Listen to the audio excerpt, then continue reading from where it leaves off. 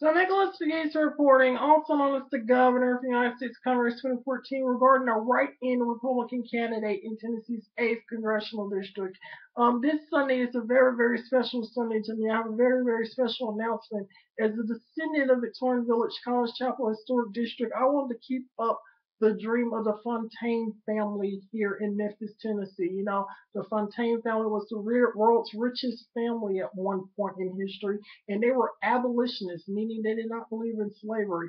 Right now, here in the 21st century, a lot of people are enslaved to a lot of things, whether it's in the political arena, whether it's, you know, in the school system, you know, our system has become a very oppressive system. And right now, I want to lead an effort as an international abolitionist against all of those who are suffering in the 21st century. A lot of Republicans are losing, a lot of liberals are losing. Our economy is in decline, and we need help. We need a, a voice of reasoning in the 21st century. So, therefore, I take upon the role, kind of like Amos Fontaine, and you know, I want to lead an effort of uniting my generation and um, stopping oppression from around the world.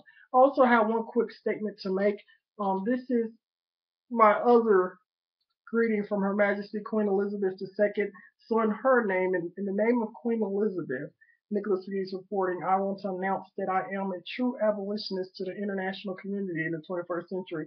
Um, here it is. It says, the Queen hopes that you will understand that because of the enormous number of letters, cards, and messages um, she has received on the occasion of her Diamond Jubilee. It has not been possible to reply to you now. Nicholas Pegues reported, also known as the Governor of the United States Congress 2014, the true abolitionist in the 21st century. Nicholas Pegues, CNN icon of Memphis, and I'm praying for peace in the Middle East and around the world. Nicholas Pegues reporting, also known as the Governor for United States Congress 2014. Thank you, and may God save the Queen, and God bless the Vatican.